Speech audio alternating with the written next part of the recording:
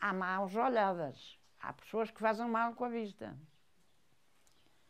E as que fazem mal com a vista, eu sabia uma reza que me ensinaram. Eram nove ervas.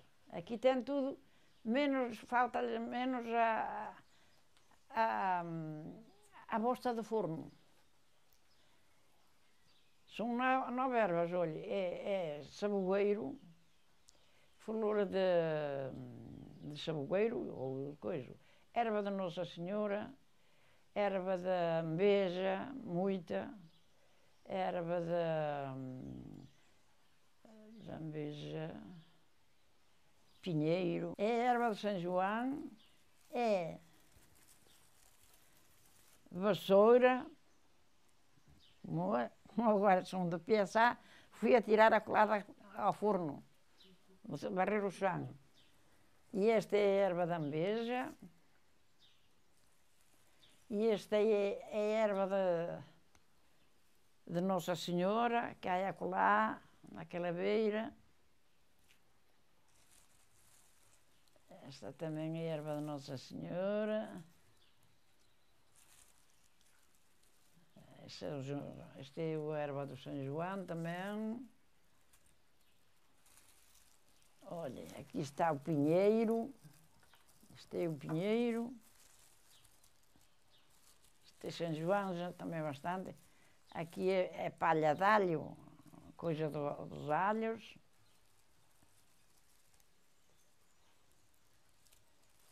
Este também é saboeiro. E esta também é erva da, da Nossa Senhora. Essas são nove ervas. Tem sal virgem. Sal virgem? Sim, sal que não, salga, que não tenha salgado. Uhum. Por exemplo, esse sal que, que se salga os porcos com ele já não dá. Tem que ser sal virgem. Sal puro, que não tenha salgado. E, e é isto da vassoura, de barreira. E falta então aqui a bosta de forno. Agora não se coze, não é? Mas antes cozia-se. E barrava-se a porta do forno por, por parte de fora, barrava-se com aquela bosta. Ao estar a bosta seca, diziam que estava o pão cozido. É um adágio. E, e estava. E falta então aqui a bosta de forno, que é tirada em cruz. Tira-se dali um bocadinho, tira-se daqui outro ali, tirada em cruz na porta do forno. Mas ella corria, eu fui por lá uma casa tamén, a vexe, ten lá o forno mas isso non hai Não Non hai a máis aquí, há vacas. Há vacas até, até no, no, no monte ou iso se apanha. Põe-se as, as ervas todas ali. E depois é que se lhe põe um lume. E o sal também já tem ali, tem tudo. E a... e depois põe-se-lhe lume, e depois é que se dizem as palavras. É o te de fumo e te torna de fumar. Em vez de a má olhada, a estas ervas vem andar. Pela graça de Deus e da Virgem Maria, um Pai Nosso e uma Ave Maria. E reza-se o Pai Nosso e a Ave Maria também. Eu tinha uma vaca estava logo para parir, estava prestes a parir. E, e a levar a beber, ali ao rego, só passava o quinteiro de uma senhora e ia levar ali ao rego. Depois veio aquela, a filha dela, ela não se falava comigo, estava zangada comigo, não se falava. Eu lembro que ela olhou muito para a vaca, porque a vaca Estava prestes a parir. Naquela noite já não comeu. Não comeu. Digo eu, bem. É, foi a má olhada.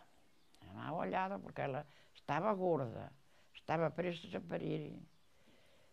Até estiveram lá e viram como ela estava, e ai, a vaca danesa vai-lhe morrer vai-lhe morrer.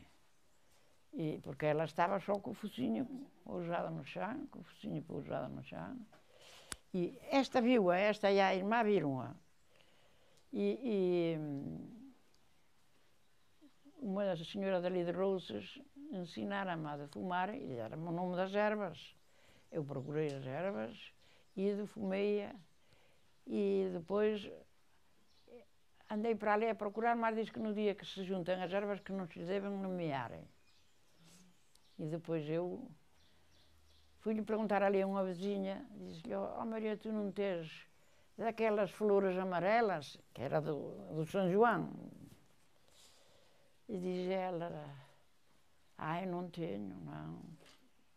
Porque no mês de São João, 24 de São João, apanham-se essas ervas para, para estas coisas, assim. E, uh, e então uh, ela disse-me, diz, não, não tenho. Fui ainda outra, onde a Gracinda também não tinha. Mas o Zé, o, marido, foi comigo. O marido da, da Gracinda foi comigo, que já havia no pelo do Lamas. Disse-lhe eu, anda então comigo ao pelo do Lamas e eu buscá-las. Levou um candeeiro destes de mão, de, de noite. Ao chegar ao meio do, do campo, o vidro foi pés! Ficou tudo escartilhado. Até o que ia comigo dizia ele, aqui anda diabo, anda.